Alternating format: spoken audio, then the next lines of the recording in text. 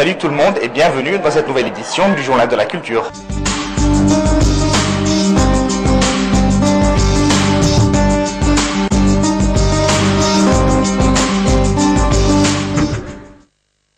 Comme d'habitude, je commence avec les principales activités artistiques. Le samedi 9 avril, c'est l'orchestre symphonique égyptien qui nous présente un concert à l'Opéra du Caire.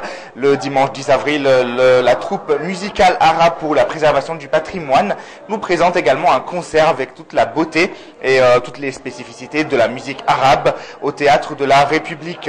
Le lundi 11 février, la troupe Tanoura pour la préservation du patrimoine, la troupe Tanoura, donc les derviches tourneurs, nous présente également un concert comme on a l'accoutumé finalement, euh, nous présente un concert au palais du euh, Sul- Sultan Al-Rouri. Alors je vous propose non seulement euh, d'assister à ce concert, mais également de visiter le secteur puisque le vieux Caire regorge de trésors extraordinaires. Le mercredi euh, 12 avril, on part à Alexandrie, au centre de l'innovation Alexandrie, dans une rue particulièrement connue, une ancienne rue où habitaient beaucoup de Français, la rue Al-Nabi Daniel. Et justement, dans cette, près de cette rue euh, se trouve l'Institut français d'Alexandrie. Eh bien, euh, euh, le, centre de l'innovation d'Alexandrie nous propose euh, un atelier sur le ballet. Et pour conclure, le mercredi euh, 13 avril, le centre Talat Harb, euh, donc euh, qui se trouve dans le Caire cette fois-ci, euh, nous présente un colloque artistique.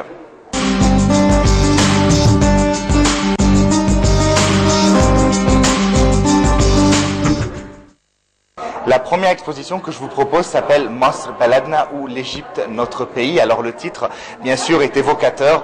Vous allez pouvoir euh, voir les, les beautés du paysage égyptien. Notre artiste aujourd'hui est euh, plutôt connu pour peindre le folklore et tout la- le- le- l'art et le quotidien populaire de l'Égypte. Les gens, les, les- leur aspect, leurs portraits, leurs traits caractéristiques, leur quotidien. C'est vraiment un voyage à travers toute l'Égypte. Je vous laisse regarder. Música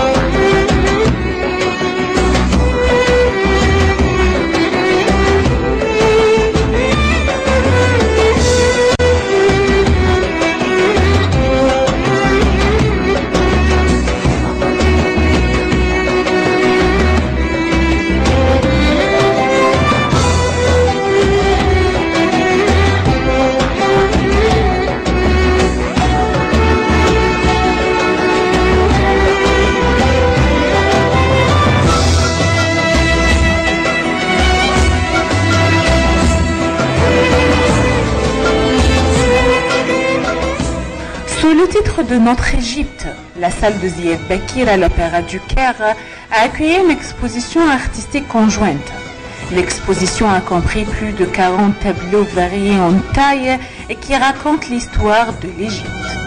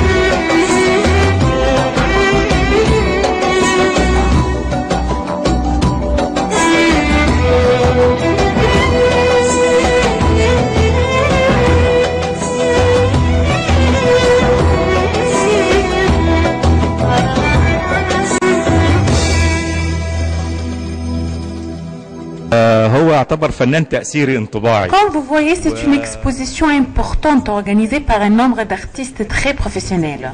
Et vraiment, les histoires présentées dans les peintures et exposées sont très variées.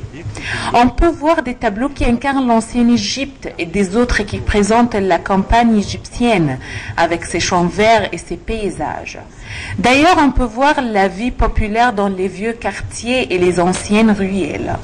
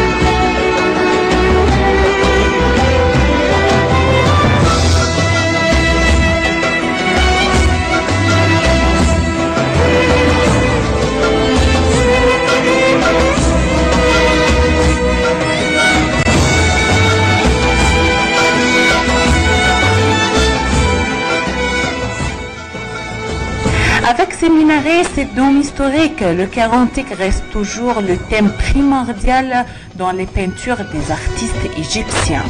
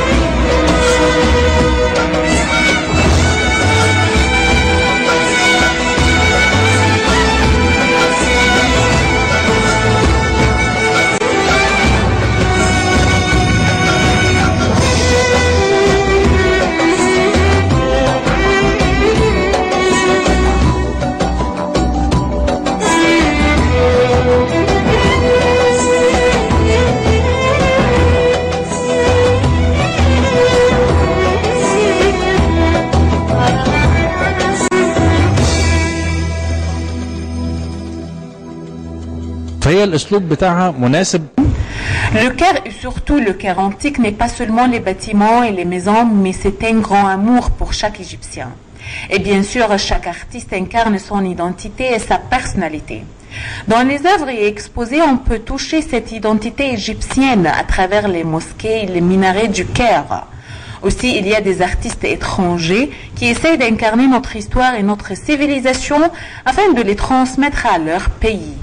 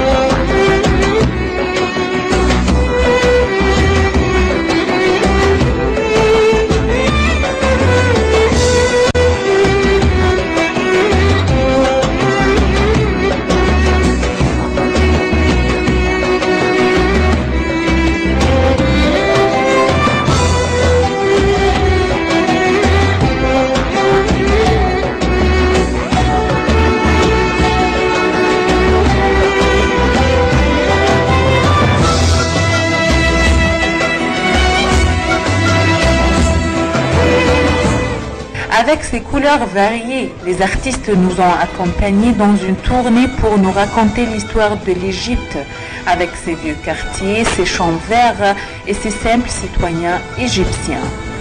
Nada Ibrahim pour Journal de la Culture.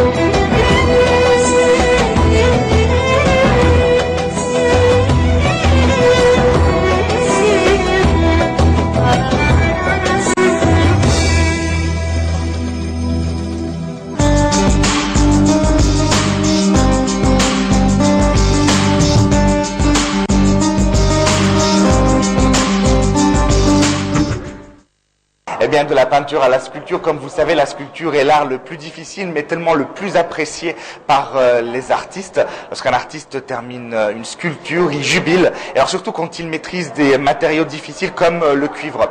Cette fois-ci, je vous propose une exposition qui s'appelle 30 ans d'art. Notre artiste, Mohamed Ishaq, après 30 ans de dévotion pour l'art, nous propose une exposition avec toutes les techniques qu'il a pu acquérir durant toutes ces années de dévotion aux arts plastiques, à différents arts plastiques et tardivement la sculpture. Je vous laisse regarder.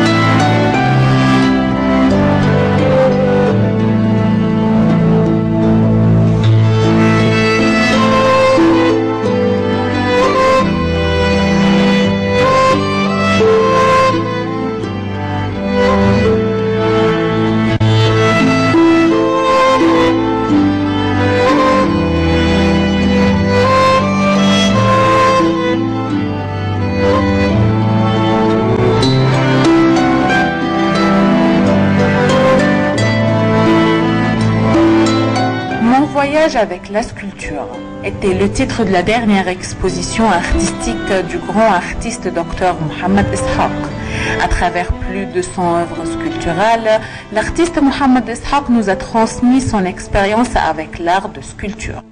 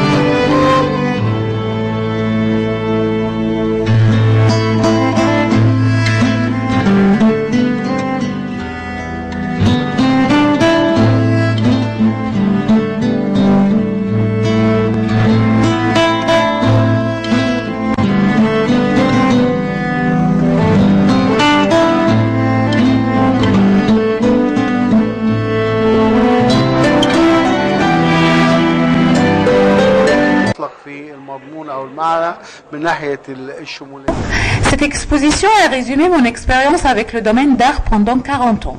Il y a des œuvres que je les présentées quand j'étais au cycle secondaire et des autres quand j'étais à la faculté. Et ça m'a aidé à présenter des thèmes variés et de différentes idées. Cette diversité était encore dans les matières utilisées. J'ai travaillé avec le bronze, le fer et le bois.